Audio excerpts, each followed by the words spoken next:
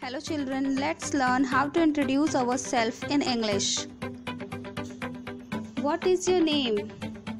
My name is Rohan Pathak. How old are you? I am 4 years old. What is your father's name? My father's name is Mr. Rajesh Pathak.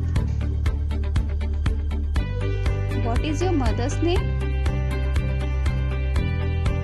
My mother's name is Mrs. Priya Pathak.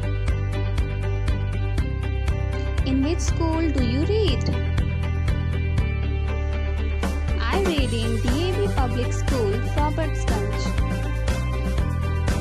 Where do you live? I live in Robertsganj, children, in this way you can introduce yourself to